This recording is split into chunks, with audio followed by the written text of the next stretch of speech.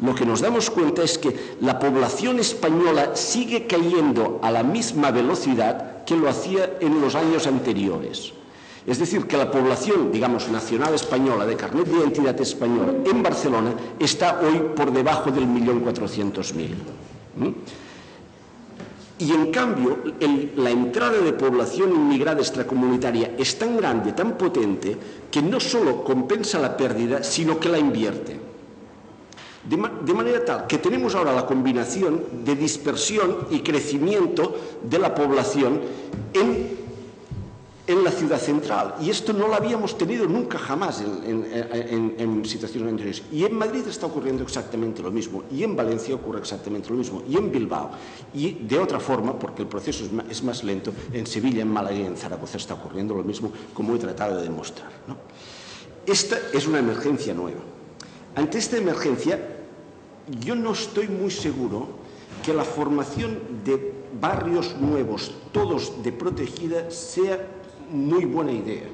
No desde el punto de vista de la forma urbana, sino desde el punto de vista de la concentración de población homogénea desde el punto de vista social. Es que no es homogénea.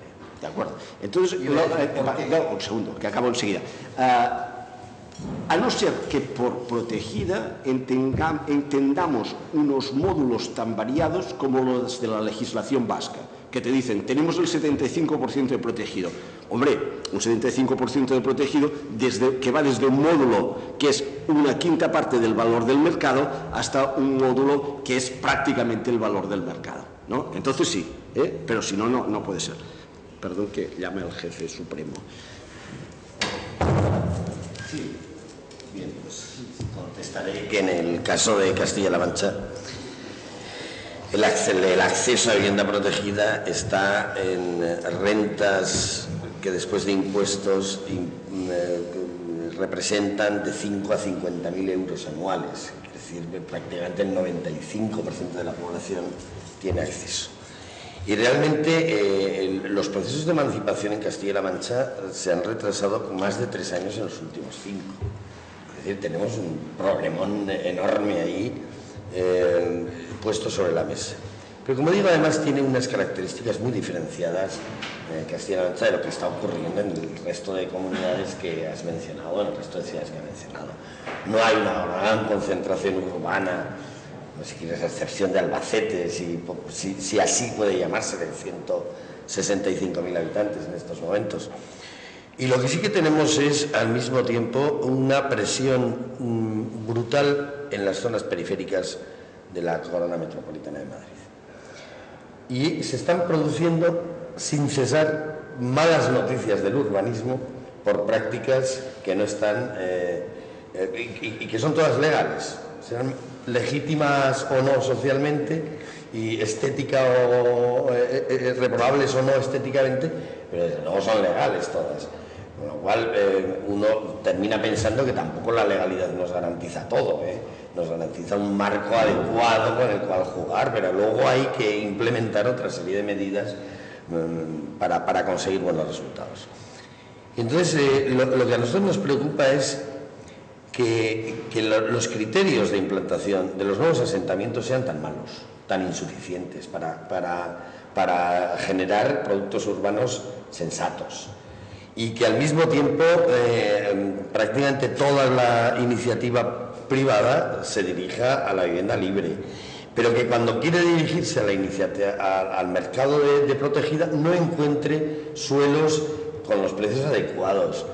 Y, de hecho, yo tengo llamadas de promotores privados diciendo, explícanos bien lo de las viviendas de, protegidas porque es, ahora sí que nos interesa entrar en el mercado.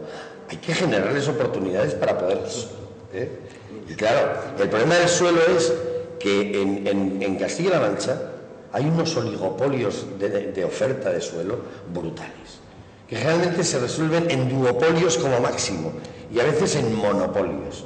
Claro, la, capacidad que tienen los ayuntamientos para imponer políticas de, suelo frente a propietarios únicos, claro, esto no es lo mismo que, Barcelona, Valencia o Madrid, Madrid ya empieza a tener enormes problemas y Barcelona capital también.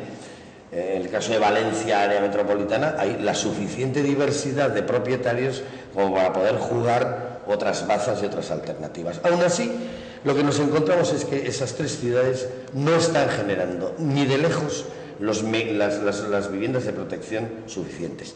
Y entonces tendréis que darle, los que tengáis responsabilidad en esas, en esas ciudades, em, em, salidas adecuadas, pero que estén referenciadas a las circunstancias concretas de esa ciudad.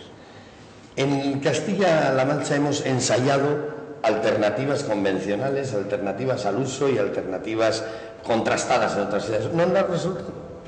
El resultado de Albacete, que es una ciudad que en los últimos 15 años es, es, la quinta de España, mayor crecimiento absoluto eh, en el balance, eh, finalmente, ¿qué es lo que nos encontramos? Que en los últimos 8 años hay 160 viviendas protegidas y no hay más. Y nos preocupa mucho que por ser puristas desde el punto de vista de las soluciones urbanísticas, sigamos sin, hacer, sin producir vivienda social. Y lo que queremos es dar una solución. Y de hecho esos asentamientos periféricos, que ya ni siquiera metropolitanos, en el caso de Albacete sería un poco exagerado llamar eh, metropolitanos, son más dispersos, más insuficientes y peor controlados que lo que nosotros estamos proponiendo. Porque de hecho la urbanización periférica se está produciendo ahí. ¿Quieres hacer un último comentario? ¿quieres cerrar Bien, en principio, muchas gracias a los ponentes, os lo agradecemos mucho y evidentemente a todos ustedes por acompañar estos días. Creo que ha sido provechoso para todos, o al menos nos invita a tener una reflexión a futuro que creo que es muy importante, sobre todo en un sector que, bueno, yo siempre digo que aporta el 20% del PIB. O sea que, por tanto, hay mucho que decir. Y que hay que mantener en actividad. Muchas gracias.